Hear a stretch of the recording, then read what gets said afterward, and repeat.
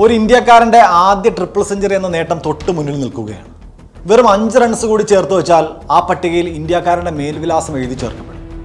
അതുകൊണ്ട് ആ നിമിഷത്തിൽ ആദ്യം സക്ലിൻ മുഷ്താഖിന്റെ ആ പന്ത് കരുതലോടെ കളിക്കണമെന്നായിരിക്കും ഒരുപക്ഷെ വീരേന്ദ്ര സെവാഗ് വിചാരിച്ചിരിക്കുക അതുവരെ സക്ലിനെ അടിച്ചു പറത്തിയത് ഒരു നിമിഷത്തേക്ക് മറന്ന് ഗ്രൗണ്ട് ഷോട്ടിന് ശ്രമിക്കണമെന്ന് തൊട്ടപ്പുറത്തുള്ള സച്ചിൻ ഉപദേശിച്ചുമിരിക്കും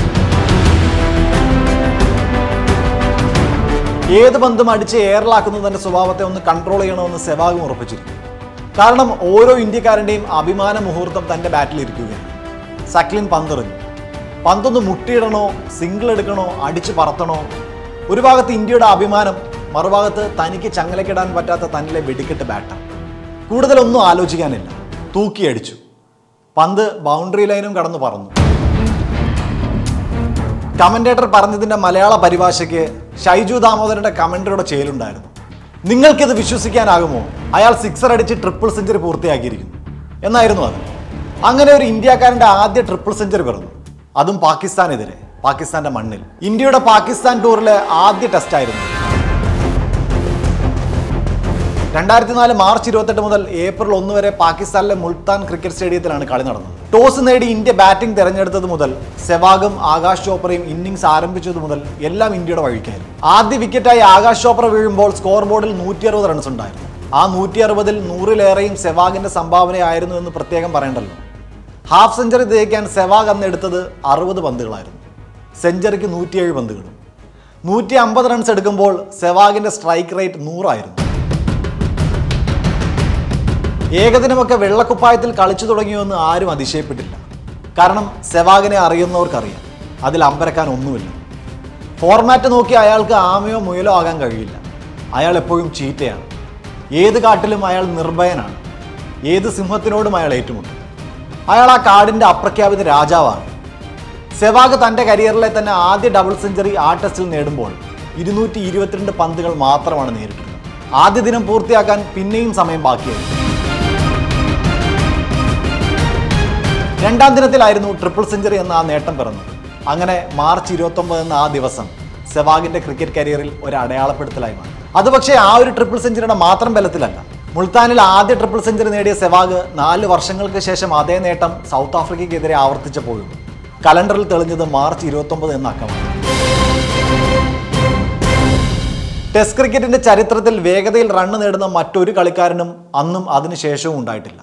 മിനിമം ഫുഡ് വർക്കിൽ മാക്സിമം സ്കോർ ചെയ്യുന്ന സെവാഗിനെ പോലെ ഒരു താരം ലോക ക്രിക്കറ്റിലില്ല സച്ചിൻ ടെണ്ടുൽക്കർ ആകാൻ ആഗ്രഹിച്ച് പന്ത് തട്ടി തുടങ്ങിയ സെവാഗ് ഒടുക്കം ഒരു താരതമ്യങ്ങൾക്കും വക നൽകാതെ. വീരേന്ദർ സെവാഗ് എന്ന സ്വന്തം പേര് അത്രമേൽ വൈകാരികമായി ഓരോ മനസ്സിലും കുറിച്ചിട്ടാണ് കളി മതിയാക്കി സെവാഗ് ഒരു കാലത്തും മറ്റൊരു സച്ചിനല്ല. മറ്റൊരു ബ്രാഡ്മാനുമല്ല സെവാഗ് മറ്റൊന്നുമല്ല. സെവാഗ് സെവാഗ് തന്നെയാണ്. ഹീ ഈസ് യുണീക്ക് ആയിരത്തി തൊള്ളായിരത്തി തൊണ്ണൂറ്റൊമ്പതിൽ നീല ജേഴ്സിയിൽ കളി തുടങ്ങി പതിനാല് വർഷങ്ങൾ കളിക്കളത്ത് നിറഞ്ഞാടി രണ്ടായിരത്തി പതിനഞ്ചിൽ ആരാധകരുടെ വീരു പാടൊഴിക്കുമ്പോൾ ഏകദിനത്തിൽ എണ്ണായിരത്തി ഇരുന്നൂറ്റി എഴുപത്തി മൂന്ന് റൺസും ടെസ്റ്റിൽ എണ്ണായിരത്തി അഞ്ഞൂറ്റി എൺപത്തി ആറ് റൺസും സ്കോർ ചെയ്തു കഴിഞ്ഞു. ഏകദിനത്തിൽ സച്ചിന് ശേഷം ഡബിൾ സെഞ്ചുറി തികച്ച് ടെസ്റ്റിൽ ആദ്യത്തെ ട്രിപ്പിൾ സെഞ്ചുറി കുറിച്ചിട്ട് അതും ഫാസ്റ്റസ്റ്റ് ട്രിപ്പിൾ സെഞ്ചുറി കുറിച്ചിട്ട് വീരു വീരേതിഹാസം രചിച്ചാണ് പടിയിറങ്ങിപ്പോയത്. ഏകദിനത്തിലെ ആദ്യ നാളുകൾ വീരു ഒരിക്കലും മറക്കാനിടയില്ല. അരങ്ങേറ്റ മത്സരത്തിൽ പാകിസ്ഥാനെതിരെ പാഡ് കെട്ടി ഇറങ്ങിയ സെവാഗ് അന്ന് ഒരു റൺ മാത്രം എടുത്ത് അക്തറിന് കീഴടങ്ങി. അടുത്തൊരു കളിക്ക് പാഡ് കെട്ടാൻ വീരു കാത്തിരുന്നത് ഇരുപത് മാസങ്ങളായിരുന്നു. രണ്ടായിരത്തി ഒന്നിൽ ഓസ്ട്രേലിയക്കെതിരെ ഹാഫ് സെഞ്ചുറി നേടുകയും മൂന്ന് വിക്കറ്റ് എടുക്കുകയും ചെയ്ത മാൻ ഓഫ് ദ മാച്ച് ആയതോടെയാണ് ചിലരെങ്കിലും വീരുവിനെ ശ്രദ്ധിച്ചു തുടങ്ങി അതേ വർഷം ന്യൂസിലാൻഡിനെതിരെ കന്നി സെഞ്ചുറി നേടിയതോടെ അതും വെറും അറുപത്തൊമ്പത് പന്നിൽ കന്നി സെഞ്ചുറി നേടിയതോടെ വീരു ആഘോഷിക്കപ്പെട്ടു തുടങ്ങി. പിന്നെ ഗാലറികളിൽ ആവേശത്തിന്റെ അമിട്ട് പൊട്ടിച്ചുകൊണ്ട് ആഘോഷത്തിന്റെ പൂര കാഴ്ച ഒരുക്കിക്കൊണ്ട് അയാൾ ഒരു പതിറ്റാണ്ടിലേറെ മൈതാനങ്ങളെ അടക്കി വരിച്ചു ആദ്യം മിഡിൽ ഓർഡറിൽ കളിക്കാനായിരുന്നു സെവാഗ് ടീമിലെത്തിയത്. മുൻപ് കളിച്ചിരുന്നതും അങ്ങനെ തന്നെ. ശ്രദ്ധിച്ചു നോക്കിയാൽ അതുവരെ ക്രിക്കറ്റിൽ ആദ്യ ഓവറുകൾ അടിച്ചു പറത്തുന്നവരുടേതല്ലായിരുന്നു. വിക്കറ്റ് പോകാതെ നിലയുറപ്പിച്ച് റിതം ക്രിയേറ്റ് ചെയ്യുന്നവരുടേതായിരുന്നു. ഇന്ത്യയാണെങ്കിൽ സച്ചിനും ഗാംഗുലിയും ഒന്നിച്ച് പാഡ് കെട്ടിയിറങ്ങുന്ന കാഴ്ച കണ്ട് വിസ്മയിച്ചിരിക്കുന്ന. അതിനു പകരം മറ്റൊന്നില്ലെന്ന് വിചാരിച്ചിരിക്കുന്ന കാലം. ഒരു നാൾ സച്ചിന് പരുക്ക് പറ്റിയപ്പോൾ പകരക്കാരൻ ആരെന്ന ചോദ്യമാണ് ഗാംഗുലിക്ക് സെവാഗിനെ ഓപ്പണിംഗിൽ ഇറക്കാൻ തോന്നിച്ചത്. അത് വെറുമൊരു ഭ്രാന്തൻ ചിന്തയാണെന്ന് പലരും ആദ്യം കരുതി കാണും. പക്ഷെ പുതിയ പന്തുകൾ കണ്ണിമ ചിമ്മാതെ അടിച്ചു പറപ്പിക്കുന്ന സെവാഗിന്റെ വെടിക്കെട്ട് കണ്ടവർ കണ്ണ് തള്ളിയിരുന്നപ്പോൾ ഗാംഗുലി വീണ്ടും അടുത്ത കരുന്നു അതുവരെ ഉണ്ടായ ലോക ക്രിക്കറ്റിലെ തന്നെ ഏറ്റവും മികച്ച ഓപ്പണിംഗ് കൂട്ടുകെട്ട് പിരിച്ചുവിട്ട് തന്റെ സ്ഥാനം സെവാഗിന് നൽകി ഗാംഗുലി ബാറ്റിംഗ് ഓർഡറിൽ പിന്നിലേക്ക് മാറി. ഫോം ഔട്ടുകൾ ഉണ്ടായിട്ടുണ്ടാകാം. പക്ഷേ ദാത ഏൽപ്പിച്ച ചുമതലയും വിശ്വാസവും അയാളിൽ സുരക്ഷിതമായി. സച്ചിന് പകരം അന്ന് ഓപ്പണറായി ഇറങ്ങിയ സെവാഗിനെ അത്ര പെട്ടെന്ന് തിരിച്ചറിയാൻ ഇന്ത്യക്കാർക്ക് കഴിയില്ലായിരുന്നു. ആദ്യം അവർ രൂപസാദൃശ്യം കൊണ്ട് അയാൾ സച്ചിനാണെന്ന് കരുതിയിരുന്നു. പിന്നീട് സച്ചിനൊപ്പം ഓപ്പൺ ചെയ്യാൻ തുടങ്ങിയപ്പോഴോ ഇന്ത്യക്കാർ ക്രീസിൽ രണ്ട് സച്ചിനെന്ന് അലറി. സച്ചിനെ കണ്ട് ക്രിക്കറ്റ് കൊതിച്ച് സച്ചിനെ അനുകരിച്ച് സെവാഗിന് ആദ്യം സച്ചിന്റെ ശൈലികൾ ഉണ്ടായിരുന്നു എന്ന് തന്നെയാണ് സത്യം വെടിക്കെട്ടിന് തിരികൊടുക്കുന്ന അയാളെ കാണാനായിരുന്നു ഇന്ത്യക്കാർക്ക് ഇഷ്ടം. ഡിഫൻസ് ചെയ്ത് കളിക്കാൻ വീരുവിനെ കിട്ടില്ലെന്നത് അയാളുടെ യോഗ്യതയും അയോഗ്യതയുമായി ഒരുപോലെ വിലയിരുത്താറുണ്ട്. എന്നാൽ കണക്കുകൾ നോക്കുമ്പോൾ ഏകദിനത്തേക്കാൾ കൂടുതൽ ശരാശരി സെവാഗിന് ടെസ്റ്റിലുണ്ട്. ഏകദിനത്തിൽ മുപ്പത്തഞ്ചാണെങ്കിൽ ടെസ്റ്റിൽ നാൽപ്പത്തൊമ്പതിന് മുകളിലാണ് ശരാശരി. ആക്രമിച്ച് കളിക്കുന്നവർക്ക് ഇന്നിങ്സിൽ അൽപായ്സെ കാണൂ എന്ന പ്രവചനങ്ങളെ തിയറികളെ ഒക്കെ വീരു കാറ്റിൽ പറത്തിയത് ടെസ്റ്റിലെ ഈ മികച്ച ശരാശരിയുടെ പിൻബലത്തോടെയാണ്. ടെസ്റ്റിൽ ഓപ്പണറാകാൻ നേരം ഗാംഗുലിയോട് സക്സസ് ആയില്ലെങ്കിൽ മിഡിൽ ഓർഡറിൽ വീണ്ടും സ്ഥാനം തരണമെന്ന് അയാൾ ആവശ്യപ്പെട്ടിരുന്നു. ദ്രാവിഡ് സച്ചിൻ ഗാംഗുലി ലക്ഷ്മൺ ഈ ഫാന്റാസ്റ്റിക് ഫോർ മിഡിൽ ഓർഡറിൽ സ്ഥിരത ഉറപ്പിച്ചിരുന്ന സമയത്താണ് ടെസ്റ്റിലേക്ക് വീരുവിനെ ഓപ്പണറാക്കുന്നത് പക്ഷെ അവിടെയും വീരുവിന് പേഴ്ചില്ല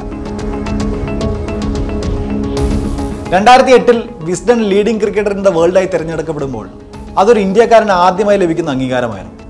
രണ്ടായിരത്തി ഒമ്പതിൽ അത് നിലനിർത്തിയപ്പോൾ ലോക ക്രിക്കറ്റിൽ തന്നെ വിസ്ഡൺ അവാർഡ് നിലനിർത്തുന്ന ആദ്യത്തെ താരമായി മാറി. മിഡിൽ ഓർഡറിൽ നിന്ന് തുടങ്ങി പിന്നീട് ഇന്ത്യയുടെ അപകടകാരിയായ ഓപ്പണറായി ഇന്ത്യൻ ടീമിലെ സ്ഥിര സാന്നിധ്യമായി മാറിയ വീരു രണ്ടായിരത്തി അഞ്ചിൽ most exciting opener in the വേൾഡായും തിരഞ്ഞെടുത്തു. ഏഴായിരത്തി അഞ്ഞൂറിലേറെ റൺസ് ഏകദിനത്തിലും ടെസ്റ്റിലും സ്കോർ ചെയ്ത ലോകത്തെ ഒരേ ഒരു ഓപ്പണറും വീരുമാണ് മൈതാനത്ത് പൊതുവെ ശാന്തനായിരുന്നു വീരു. സഹതാരങ്ങളോടും അമ്പയർമാരോടും തമാശ പറഞ്ഞും ചിരിച്ചും ചിരിപ്പിച്ചും അയാൾ ഓരോ കളിയും ആസ്വദിച്ചു. സെഞ്ചുറിയുടെ മണമടിച്ചാൽ പോലും ഡിഫൻസിലേക്ക് ചുവട് മാറ്റുന്നവരുടെ ലോകത്ത് വ്യക്തിഗത നേട്ടങ്ങൾക്ക് ചിലപ്പോഴെങ്കിലും വല്ലാത്ത പരിഗണന കൊടുക്കുന്നവരുടെ ലോകത്ത് സെവാഗ് വ്യത്യസ്തനാണ്. അയാൾ അടിമുടി ഒരു ടീം പ്ലെയറാണ്. നിർണായക ഘട്ടങ്ങളിൽ വിക്കറ്റ് എടുക്കുന്ന ഓൾറൗണ്ടറുമാണ് അയാൾ.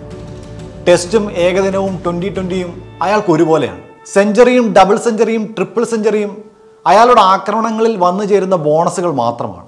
മുന്നിലുള്ളത് അക്തറാണെങ്കിലും ഷെയ്ൻവോൺ ആണെങ്കിലും അയാൾ തൂക്കിയടിച്ച് വെളിയിൽ കളഞ്ഞിരുന്നു. കാരണം അയാളുടെ തലയിൽ റെക്കോർഡുകളുടെ ഭാരമില്ലായിരുന്നു.